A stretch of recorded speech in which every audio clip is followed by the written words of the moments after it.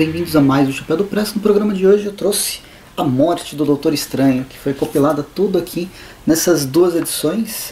Isso aqui foi lançado lá para entre agosto e setembro de 2022, talvez com um pouco de atraso, vai até outubro. E nos Estados Unidos, na virada do ano, entre 2021 e 2022, tem o roteiro do, do Jed McKay, várias e vários outros artistas, né? Mas é o Léo Gebert que faz as ilustrações principais. Bem, é um desses mini arcos, mini sagas concentradas num personagem só, mas que faz tem várias participações de vários personagens.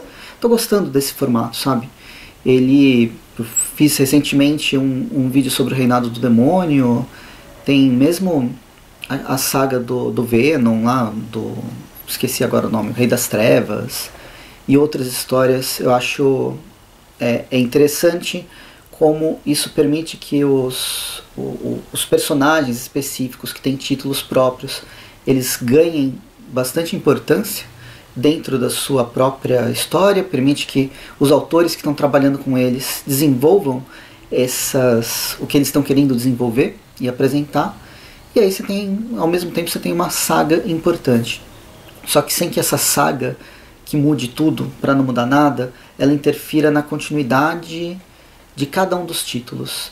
Eu acho que uma das coisas que mais incomoda nesses últimos nesses anos de 2010, principalmente, né, dos anos 2000 e 2010, é que a gente teve várias mega sagas uma atrás da outra e elas obrigatoriamente interferiam na continuidade da mensal, de cada uma das mensais nenhum, é, cada saga ela era importante para um determinado personagem ou para um determinado autor, na verdade. E aí ela interferindo em todas as outras histórias, isso atrapalha bastante a continuidade, né? Tem sempre várias quebras. Teve época que, nossa, cada dois, três meses você, ia, estava acompanhando um personagem, aí tinha que colocar ele numa mega saga. Nos últimos anos, acho que nos últimos três, quatro anos, três anos, acho que quatro já é demais o que acontece é isso.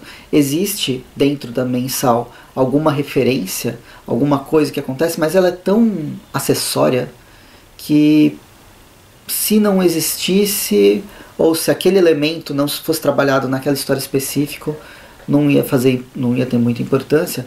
E melhor ainda, a, a história que faz referência àquela saga em específico, ela não está interferindo diretamente a ponto de mudar completamente o andamento da, da, do título em específico. Bem, a morte do Doutor Estranho é isso e mais, mais forte ainda, porque os tains que foram produzidos para a morte do Doutor Estranho estão todos dentro da, dessas, desses dois encadernados foram tains específicos e não mensais, histórias e arcos dentro de mensais. Então, bem, o que a gente tem aqui são cinco edições da morte do Doutor Estranho, mais alguns os especiais dos Vingadores, da Academia do Estranho, que aí é um título muito mais ligado ao, ao personagem. Depois tem a, a, White Fox, né, a Raposa Branca. Fácil, né, essa tradução. O Blade, os X-Men e o Cavaleiro Negro e a Elsa Bloodstone nesses, nessas histórias. Bem, o que, que, eu posso dizer? É, eu estou gostando muito de acompanhar o Doutor Estranho, acho que desde, desde que ele ganhou um título próprio, uma revista própria aqui no Brasil, que foi, acho que logo depois das Guerras Secretas, 2016 mais ou menos. E ele começa com histórias mensais, depois vai para encadernados e agora, ultimamente, ele estava sem título. O único título que tinha é Academia dos. dos não é Academia dos Jovens Vingadores, é Academia do Estranho, que são de vários magos. E que eu falei só sobre o primeiro volume, porque não me pegou. Na verdade, é um título que não foi feito. Ele tem um público específico, e eu já estou velho demais para esse público. Então, não, não era para mim, não estava curtindo. Eu tenho que fazer seleção, veio em capa dura, caro pra caramba, então eu não estou acompanhando. Mas o Doutor Estranho especificamente, ele encerrou sua fase já faz um tempo. E agora ele só está fazendo essas participações até a morte do Doutor Estranho, que vai gerar um título próprio. O que é até bizarro isso, né? A morte do personagem vai gerar um título novo, que é o que está acontecendo nos Estados Unidos. inclusive com outro personagem. Não é o Stephen Strange como grande mago supremo. E a gente vai acompanhar aqui, não é um spoiler falar isso, até porque o que a gente vai ler é a morte do Doutor Estranho. O que acontece é que, bem, ele tem um ótimo, um ótimo dia, obviamente. Se tudo começa bem, tudo vai ser ruim no, no, no, no decorrer da história. E aí o Doutor Estranho tem o dia comum, onde ele divide o espaço como é, médico, cirurgião, como mago supremo, como super-herói. E um, um belo. No final desse dia, alguém aparece, alguém que ele conhece, e o assassina. É, sendo bem. É, resumindo bastante a história da morte do Doutor Estranho, o que acontece, o que a gente vai ver, principalmente nessa segunda parte, quando o Doutor Estranho reúne as, os principais magos supremos do multiverso, ou do, do multiverso mágico, é uma história da Agatha Christie. Vamos juntar todo mundo numa sala, um deles é o assassino, e vamos desenvolver através da narrativa ou do, do diálogo quem é o assassino da vez. De uma forma bastante simples. A Agatha Christie é muito, é muito mais muito melhor o, o, o, texto, até mesmo outras obras que vieram a partir dela, até nos quadrinhos. Essa aqui é uma coisa bem simples, mas que vai remeter a isso. Outra coisa que acontece nas edições 2 e 3, principalmente, da morte do Doutor Estranho, é que com a morte dele, a, a camada, né, o escudo protetor mágico que impedia essa mudança de realidade, essas realidades mágicas invadissem a Terra, esses demônios, criaturas fantásticas invadissem a Terra, isso aí foi destruído.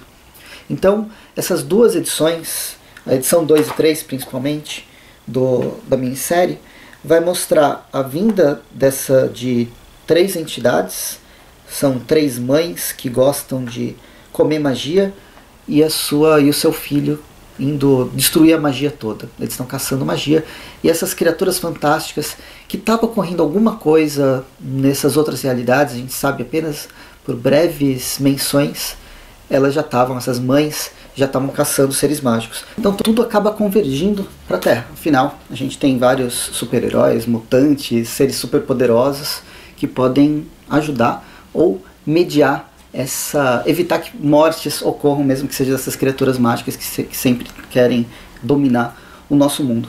Então, ao longo dessas dessas edições, a gente vai acompanhar justamente isso. A morte, o Doutor Estranho morre, aí ele volta, né? Assim que ele morre, ele volta como um recorte no tempo. O Stephen Strange, logo no começo de carreira, ele faz um recorte de uma semana, tira uma semana da vida dele, que deixa em stand-by para que quando ele morresse, essa, esse, essa entidade voltasse. Quando ela, ela volta, sem memória nenhuma do que aconteceu depois, afinal, ela só tem a memória e a soberba do início de carreira do Doutor Estranho, ela vem para cá e tenta resolver a situação. Ela que vai investigar num estilo muito mais Sherlock Holmes do que Hercule Poirot, até pela característica do personagem, mas ele vai se desenvolver. As edições, aí na, ao longo das cinco edições, a primeira edição tem a morte, a segunda, a terceira edição vai focar principalmente nessa, nessa história que a, essa camada protetora caiu e a Terra está sendo invadida, está sendo invadida por criaturas que querem destruir tudo e por criaturas que também normalmente querem destruir tudo, mas agora buscam proteção, buscam asilo. E as edições 5 é, e 6, 4, é, 4 é, e 5 finalmente volta para essa história de Agatha Christie. Vamos ver, colocar todo mundo numa sala e descobrir quem que é o grande o assassino por trás disso, disso tudo.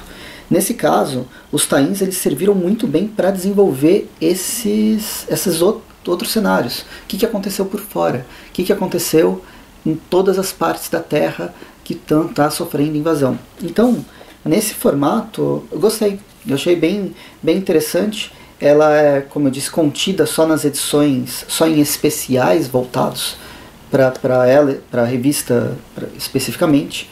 Mas enfim, nessa primeira edição a gente tem uma história bem legal que eu achei interessante dos Vingadores enfrentando o Sitorak e algumas, alguns demônios envolvendo o Sitorak. A edição que a gente vai para a escola do, do Doutor Estranho tem um desenvolvimento mais mágico, também é interessante. Acho que o mais legal dessas, desses tains é que eles situam um leitor que não está acompanhando tudo no momento daqueles personagens e que, bem, você nem precisa acompanhar tudo. As edições, os, tain, os primeiros tains que estão nessa, nessa, no, no, primeiro volume eu gostei. No segundo volume, eles começam a ser tão acessório que achei desnecessário. O primeiro eu achei legal, da Raposa Branca, principalmente por desenvolver um cenário do Oriente, dos heróis do Oriente, que a gente mal conhece. Eles existem, eles já têm títulos, mas os agentes da Atlas não são publicados aqui no Brasil, foram pulados mesmo. Também não são títulos, não é um título muito bom, mas ainda assim é um todo uma um resto do mundo que eu queria saber mais e essa história ela desenvolve principalmente os o, a origem de dois personagens. Em seguida, a gente tem a do Blade, que é legal por fazer referência ao cenário, né, à história clássica do Doutor Estranho versus o Drácula, que até comentei aqui no canal faz pouco tempo, que foi publicado pela Panini. Mas se ela não existisse, é, é, é uma das mais, mais fraquinhas de todas. Outra fraca também é dos X-Men e do Cavaleiro Negro. Os X-Men aqui são Minions. Eles estão para bater e para apanhar. Mas a arte é bem interessante. E o desenvolvimento do Cavaleiro Negro também é, é legal. Ele está dividindo o corpo com a filha dele. O, não, né, o corpo não, na verdade, o domínio da espada de ébano. Então, isso eu gostei de saber, na verdade, o que está acontecendo. Mas a história podia ser pulada muito fácil. E a último, o último tainha da Elsa Bloodstone, que também é uma história bastante contida dentro dela, né, dentro do desenvolvimento da personagem, que praticamente acho que volta é, agora por causa da, do universo cinemático da Marvel, mas também é uma história que poderia ser é, limada. No geral, o Doutor Estranho, a morte do Doutor Estranho, podia ser publicado em dois volumes mesmo, um com a série principal e outro com os tains. O problema é que os tains ninguém ia comprar. Enfim, esse foi a morte do Doutor Estranho. Ele tem um encerramento bem interessante que aponta para uma nova para uma nova fase que já está sendo publicada nos Estados Unidos. Estão falando bem dessa fase. Eu espero que ela seja publicada em breve aqui no Brasil e que gostei. Achei divertida a história. Eu gosto, gostei de, também desse de ler um arco, uma uma saga nesse formato fechada nela mesma. Claro que outras mensagens, como eu já disse, vai fazer alguma referência, mas elas são muito mais acessório do que a própria, do que esses tains e tal. Enfim, vou ficando por aqui, espero que tenham gostado do vídeo. Comentem se vocês gostam do Doutor Estranho, estão acompanhando, gostaram da morte dele ou não. A gente conversa nos comentários. Enquanto isso, também tem o arroba onde a gente fala sobre filmes e séries quase todos os dias, com resenha nova. Tem o Fortaleza Quântica, que é o podcast onde eu faço com o Rafael do Multiverso 38. A gente conversa sobre filmes, séries, quadrinhos, faz entrevistas. E são episódios atemporais, então procure Spotify no Anchorage ou qualquer outro agregador de áudio também. E tem o link da Amazon. Qualquer compra no link da Amazon ajuda muito o canal. A Morte do Doutor Estranho vocês encontram por lá, normalmente até por 15, 20% de desconto. Então acho que vale a pena. Procurem lá e a gente se vê no próximo episódio então. Valeu e até mais. E bons quadrinhos.